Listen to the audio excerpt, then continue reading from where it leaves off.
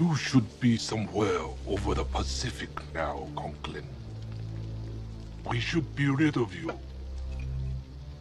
Do you have any idea who I am? Yeah, I know you are. no. If you did, you wouldn't have given me this. Good stuff. This is an old build, a prototype. The new ones will be like everything we make. Perfect. Perfect. So who's gonna get the profits? You? Or Sato? See, I know he's got the other plate. That means you got nothing.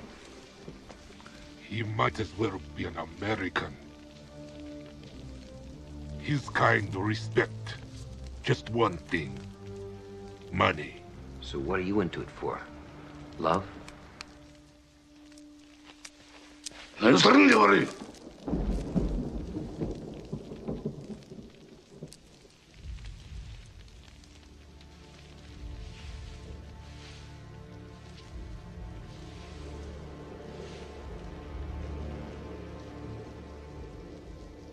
I was ten when the B-29 came. My family lived underground for three days. When we came up, the city was gone. Then the heat brought rain. Black rain. You made the rain black.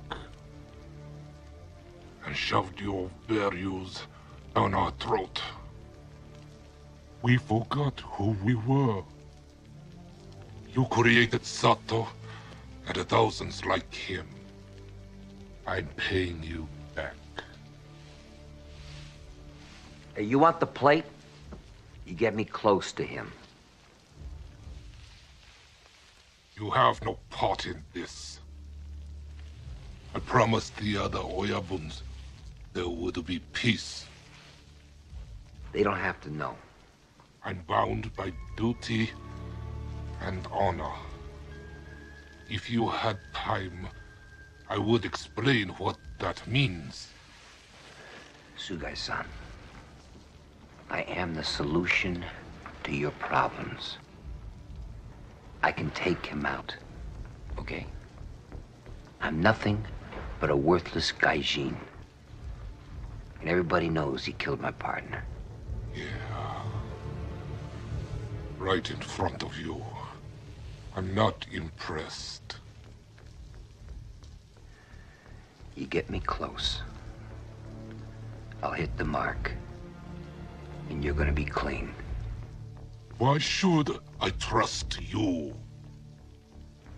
Because you got nothing to lose.